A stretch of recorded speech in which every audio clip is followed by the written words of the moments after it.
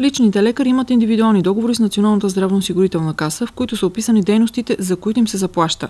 В тях обаче не фигурира издаването на бележки и това е така от 17 години, коментира доктор Силвия Стефанова, заместник председател на Сдружението на общо практикуващите лекари в Кюстендилско.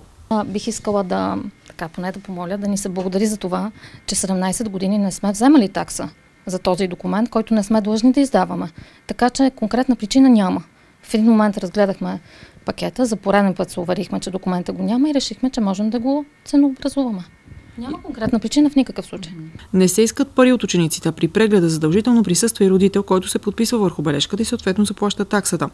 Прегледа на детето продължава да е безплатен, уточни доктор Стефанова.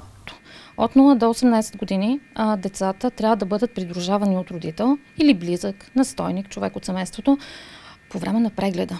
Защото те не са отговорни за. А, те не са отговорни по закон.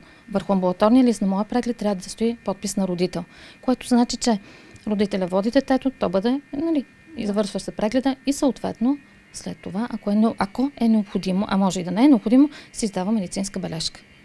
Ясно, просто искам да разгранича. Прегледите на децата са останали безплатни. Тоест никой не заплаща за медицински преглед, както не е заплащал и до сега. И смисъл, ако, ако е възможно да се спре да се спекулира по тази тема. Детето може да излезе и без бележка. Ако не му трябва, то може да не посещава училище.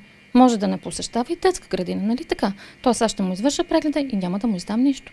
Не е обсъждана обща такса за личните лекари, те сами ще определят цената на извинителния документ. В Дупница на повечето места тя е 3 лева. Все още има и лични лекари, които издават документа безплатно. Предполагам, че вече всичките наши пациенти и съграждани знаят, че ние сме търговски дружества, отделни лечебни заведения. Всеки от нас може да ценообразува и няма как да предложим единна цена. Т.е. това би било картелно споразумение. Ние няма как да го приложим. Но считам, че ще се обединим около една разумна такса.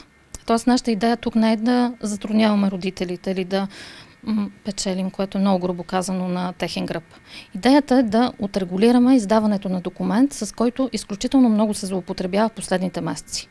Тоест, а, това се превърна в универсалното извиняващо нещо за деца и техните родители понякога. Тоест, ако а, трябва да отговоря по друг начин на въпроса защо в този момент, защото в последните месеци, имам предвид на предишната учебна година, количеството издавани медицински бележки така достигна до критични размери.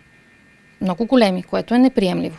Училищата реагираха, когато вече поискаха и да се увеличат атрибутите в самата а, извинителна бележка, които ние трябва да попълваме, за да могат да се, смисъл да се ограничат. Тоест, учениците трябва да ходят на училище, когато са здрави, когато са болни, съответно ще получават медицински бележки.